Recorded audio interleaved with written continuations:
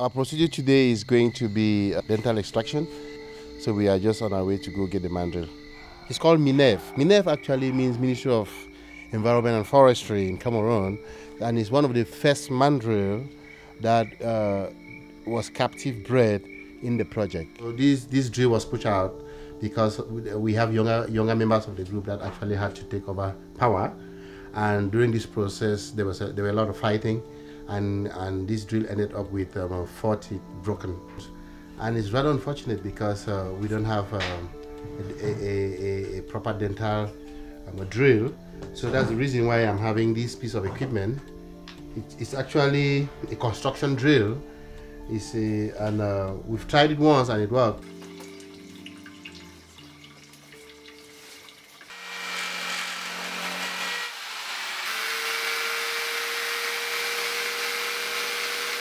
Uh, we thought they were, they were just four, and when we had the animal on the table, we realized that there were actually 70 that we need to take out. We had two, two, two canines out and one incisor. What was left, we realized that the animal was not very well stable again under anesthetic. So we thought instead to prolong, we've decided to reprogram to do the rest, which should be maybe in two weeks' time. I think already he will feel less pain because I went in for the worst ones so they are out now.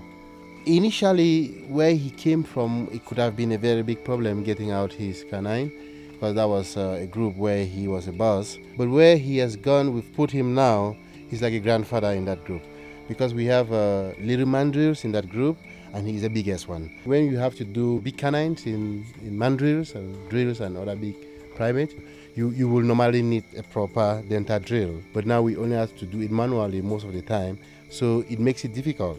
So we used it, but we didn't achieve the result that we would normally want to uh, if we were using the, the indicated um, um, drill. With this one, that's what we have, and that's what we have to use.